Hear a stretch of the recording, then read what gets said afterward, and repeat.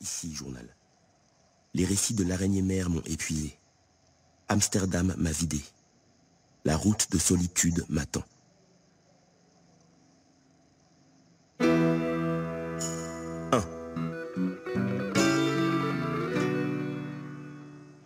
Aux auteurs africains de ma génération, qu'on ne pourrait bientôt plus qualifier de jeunes, T.C. Eliman permit de s'étriper dans des joutes littéraires pieuses et saignantes. Son livre tenait de la cathédrale et de l'arène. Nous y entrions comme au tombeau d'un dieu et y finissions agenouillés dans notre sang versé en libation au chef-d'œuvre. Une seule de ces pages suffisait à nous donner la certitude que nous lisions un écrivain, un apax, un de ces astres qui n'apparaissent qu'une fois dans le ciel d'une littérature. Je me souviens d'un des nombreux dîners que nous avions passés en compagnie de son livre. Au milieu des débats, Béatrice, la sensuelle et énergique Béatrice Nanga, dont j'espérais qu'elle m'asphyxie un jour entre ses seins, avait dit toute griffe dehors que les œuvres des vrais écrivains seuls méritaient qu'on débatte à couteau tiré. Qu'elle seule échauffait les sangs comme un alcool de race et que si, pour complaire à la mollesse d'un consensus invertébré, nous fuyions l'affrontement passionné qu'elles appelaient, nous ferions le déshonneur de la littérature. Un vrai écrivain, avait-elle ajouté, suscite des débats mortels chez les vrais lecteurs, qui sont toujours en guerre. Si vous n'êtes pas prêt à canner dans l'arène pour remporter sa dépouille comme au jeu de Bouskashi, foutez-moi le camp et allez mourir dans votre pisse tiède que vous prenez pour de la bière supérieure. Vous êtes tout sauf un lecteur, et encore moins un écrivain. J'avais soutenu Béatrice Nanga dans sa charge flamboyante. T.C. Eliman n'était pas classique, mais culte. Le mythe littéraire est une table de jeu. Eliman s'y était assis et avait abattu les trois plus puissants atouts dont on put disposer. D'abord, il s'était choisi un nom à initiale mystérieuse. Ensuite, il n'avait écrit qu'un seul livre.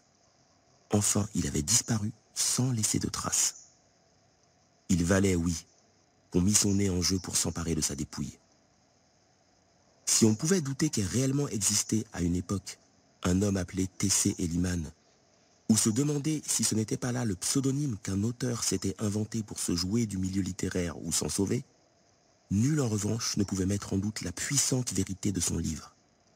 Celui-ci refermé, la vie vous refluait à l'âme, avec violence et pureté.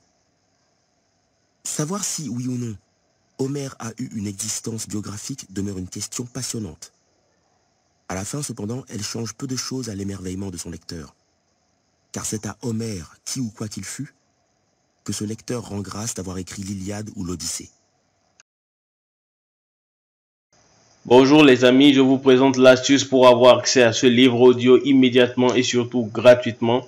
Vous verrez, c'est extrêmement simple, rien de compliqué. Il vous suffit de cliquer sur le lien dans la description de cette vidéo.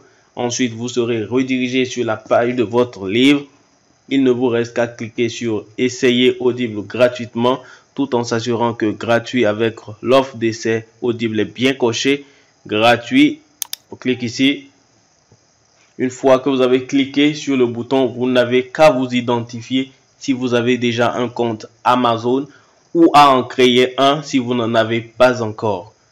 Et eh bien pour ceux qui ont déjà un compte Amazon, une fois identifié, vous avez directement accès à votre livre et vous avez 30 jours d'abonnement offert. En sachant ici que l'avantage est que vous pouvez résilier votre abonnement à n'importe quel moment et même si vous résiliez l'abonnement après avoir eu votre livre, eh bien, vous gardez toujours accès au livre. Il est à vous, les amis. Alors, franchement, quand c'est gratuit, n'hésitez pas, les amis, foncez. Pour les autres, voici comment créer votre compte Amazon. Cliquez sur créer votre compte. Vous entrez votre nom et prénom.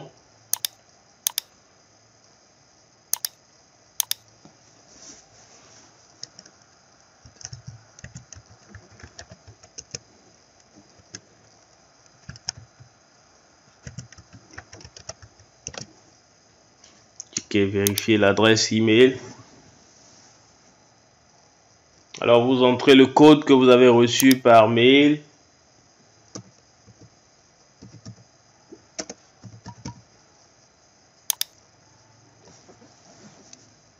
Vous entrez votre numéro de téléphone. Vous entrez le code reçu.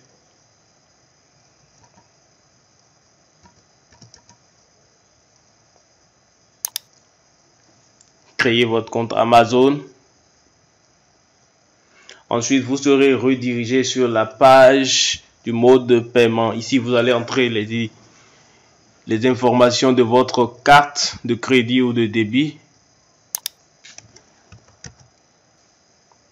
Ajoutez votre carte.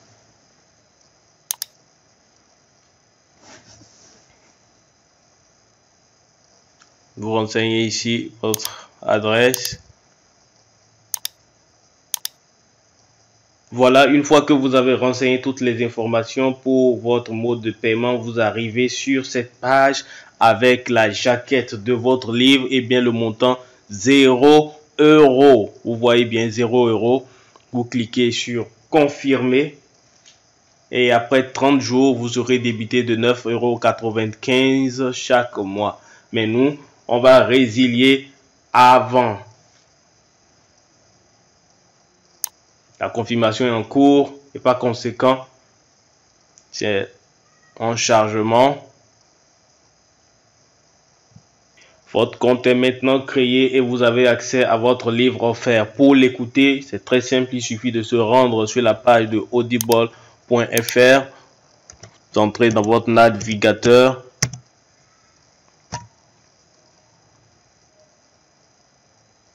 Vous connectez avec vos identifiants que vous avez créé, que vous avez utilisé tout à l'heure pour créer votre compte.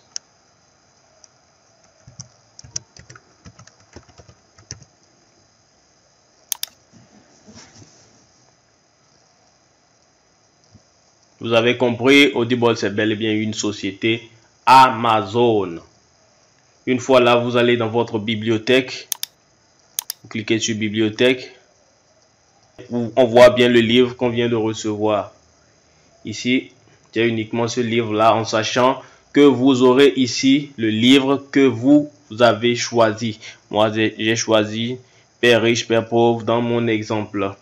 Vous avez la possibilité de télécharger ensuite l'application qui va vous permettre d'écouter le livre sur votre smartphone ou partout où vous voulez ou de l'écouter directement ici sur Audible.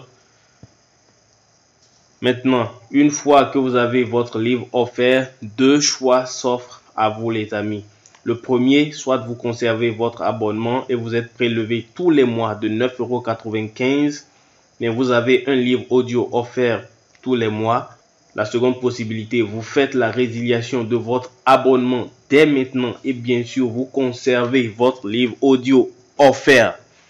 Si vous choisissez la première option, les amis, vous n'avez absolument rien à faire. L'abonnement se met en place automatiquement. Mais si vous choisissez la seconde option, il va falloir résilier votre abonnement. Et tout de suite, je vous montre comment faire. Vous passez votre sourire sur bonjour, votre prénom ici. Ensuite, cliquez sur mon compte. Une fois que vous avez cliqué sur votre compte, vous arrivez sur cette page et il vous suffit de cliquer sur résilier mon abonnement ici. Continuer la résiliation. Cliquez là. Afin d'améliorer nos services, pouvez-vous nous donner une raison de votre départ ou que on autre raison? Merci de nous indiquer, mais pas de raison. Résilier l'abonnement.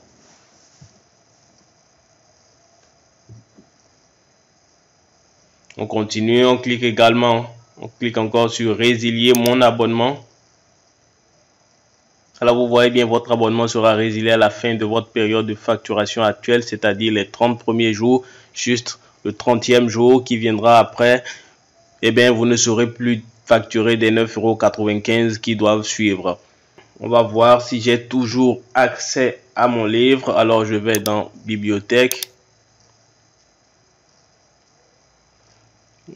Je vois si j'ai toujours la possibilité d'écouter mon livre. Je vois que j'ai toujours la possibilité de l'écouter. J'ai toujours la possibilité d'écouter mon livre. Alors voilà, voilà les amis, si cette astuce vous a plu, n'hésitez pas à cliquer sur le bouton j'aime, à partager massivement la vidéo. Et si vous avez envie d'un livre bien précis, n'hésitez pas à en faire part dans les commentaires. Et on se voit très très bientôt.